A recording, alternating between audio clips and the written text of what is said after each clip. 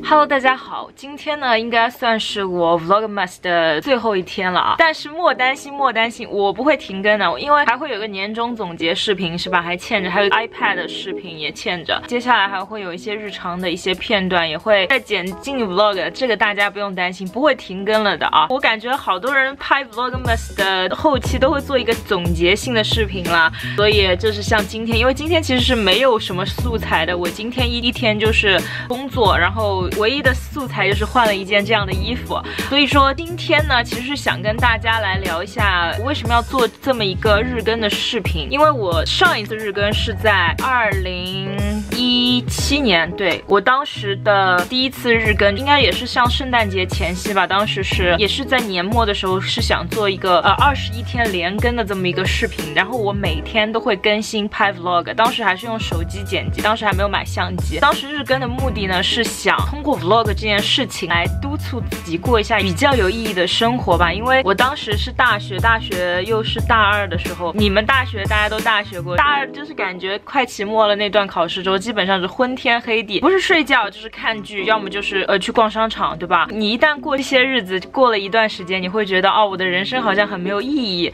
然后这个时候你就会想啊，我要拍一个 vlog，然后来督促自己去做一些有趣的事情，去做一些有意义的事情，差不多就是这么一个契。机，二零一七年呢就开始了我这个日更 vlog 的计划，也是从这个计划开始，我开始慢慢的开始拍视频，然后考研考好了，也买了个相机，就是现在这个相机，然后再开始拍视频，也被大家慢慢慢慢认识。然后二零一九年我就是现在嘛，我又开始拍 vlogmas 了，但是现在我拍 vlogmas 的目的已经和二零一七年不一样了。我其实拍 vlog 到现在满打满算，其实已经两年多了。我一开始拍 vlog 其实就是想记录一下我的生活，你的 vlog 其实和你的真实生活是有出入的，但是你会想，因为我要拍这个 vlog，所以我要自律的生活，每天去图书馆，我要去做实验，我要去干什么干什么，这是我二零一七年日更的原因。然后我二零一九年日更呢，自律方面其实是已经没有什么太太大的问题了。你就算不拍 vlog，你也会每天早起，然后你也会每天做实验，你也会每天看文献这样。但是我现在做这个日更呢，其实就是以一种新的心态去做这个日更了，因为很多人跟我说过，说我拍 vlog。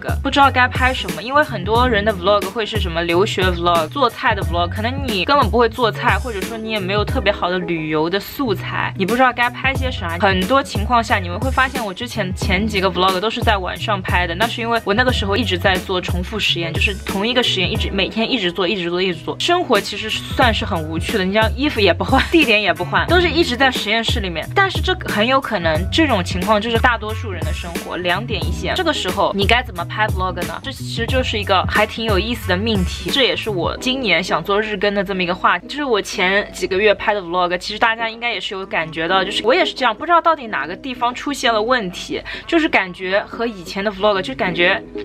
呃，没那味儿了，你知道吧？这也是我一直在改进的问题。我想找到一个新的适合我的模式，所以说我这次做一个这个日更，其实是想挑战一下自己，看看自己是在这种高密度的输出条件下，到底能不能产出一些呃比较有意思的视频，或者说剪辑节奏是我个人比较满意的视频。然后我做这一期日更呢，其实还是想给大家做一个示范，就是因为我感觉生活中有很多人和我一样，就是吃饭的地方、睡觉的地方、工作的地方，就是这么三个点。因为大家都不是有。职业其实应该是能理解，就是大家的生活都挺匮乏的。你自己觉得可能有意思的事情真的很少，因为你不会去说去为了拍一个视频去找一个选题，然后去一个地方玩，去买什么东西，去做什么东西，去吃什么东西，这是正常人不会去做的事情。你的生活有哪些地方是值得记录的呢？因为我觉得很多人止步于或者说不知道该怎么拍 vlog，拍 vlog 拍了一段时间不知道该怎么拍，没办法连续产出，或者说不知道该怎么开始，很大的原因就是觉得他自己的生活没有什么好拍的。但是事实上。让你的生活就是有很多东西是可以记录，是值得记录，是值得被别人知道的。别人不仅仅是想了解你生活的大块时间，比如说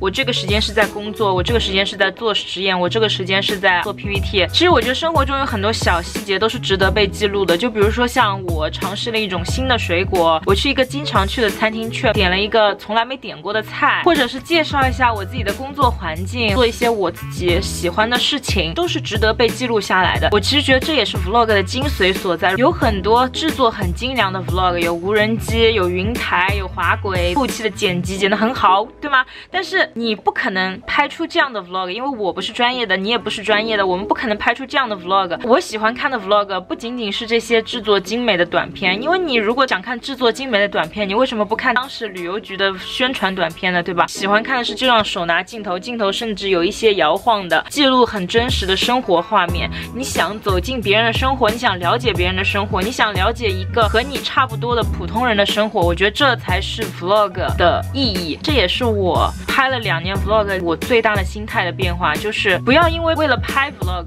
去做一些有意义的事情，而是你生活本来就很有意思，你通过 vlog 来记录下来，就是这种大块时间的重复中，其实会有很多很美好的瞬间是值得被记录下来的。每一个人的生活都是值得被记录的。我拍这个 vlogmas 的初衷也是想鼓励大家跟我一样去拍一些，就是记录一下自己的生活。可能剪出来的视频就是那么两三分钟、三四分钟，但是你回过头来看会觉得啊，也还挺有意思的，不是吗？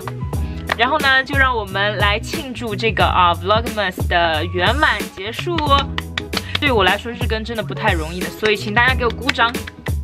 接下来的视频呢，也会剪得更加的流畅啊，也会更新更加快。也希望大家如果喜欢看我的 vlog，也不妨去尝试一下拍自己的 vlog，对吗？这是一件很有意思的事情，就是这样。拜拜，让我们。